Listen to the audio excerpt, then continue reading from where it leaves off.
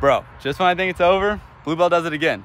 There's a new flavor. Y'all know the boys and I have tried every flavor of Bluebell ice cream, but this new flavor might be the most Texan of them all. Now, I actually heard of some rumblings of a new flavor when the boys and I went to the Bluebell factory a few weeks ago, but I did not expect this, a package at my front door from Bluebell. So I quickly brought it in and began opening it up. At first I thought it might be merch or something, but I quickly realized the box was pretty cold and there was an ice chest inside. what does this say?